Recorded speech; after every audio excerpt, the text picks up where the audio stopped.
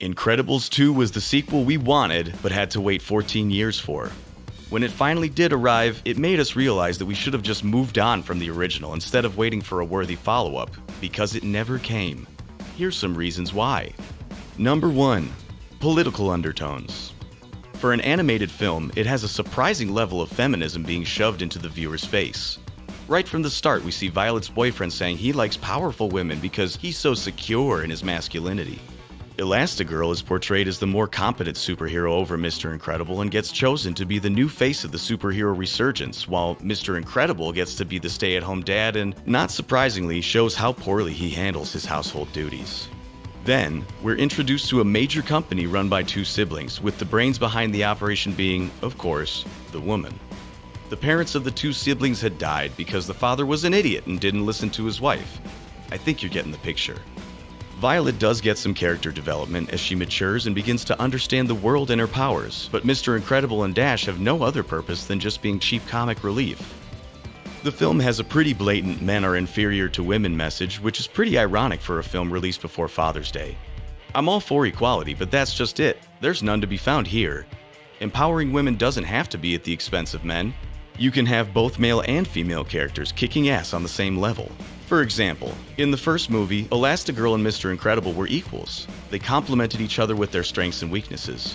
Their relationship was fun to watch against the backdrop of the superpowered family dynamic. Unfortunately, this equal partnership gets tossed out for a beatdown on masculinity. Number 2. The movie lacks in depth. The story in Incredibles 2 is weak and forgettable. The film also doesn't have any serious stakes on the line. It's a lackluster villain at the end with some cheap jokes along the way.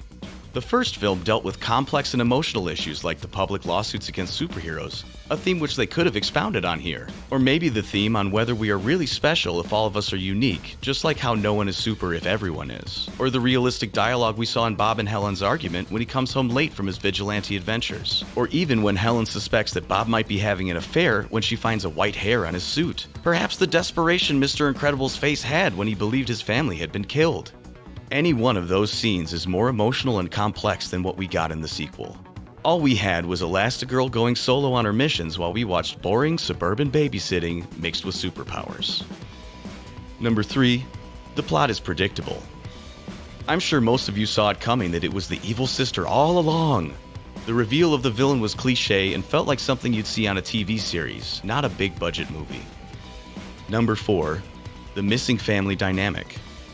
In the sequel, Elastigirl goes off to do her own thing while the rest of the family just stays home. And for most of the film, the family doesn't have much interesting interaction. Elastigirl then gets captured, and Mr. Incredible goes off to save her, leaving the kids behind. It would have been more fun to see more of the entire family having to work together like they did in the first movie, but we only had a small taste of that at the very end. Number 5 is Jack Jack. I got annoyed by this character. Jack Jack is just there for comic relief and doesn't add anything to the overall story arc. Every minute of his screen presence takes away time from another character's development. He's a baby, and he's got nearly limitless superpowers without any ability to control them, and his powers seem to be a blank check. He can conveniently do whatever the script requires him to do. It's unlikely there will be another sequel after this one, but if there is, I sure hope he's grown up by then. So what do you folks think? Share your thoughts in the comments below, and thanks for watching.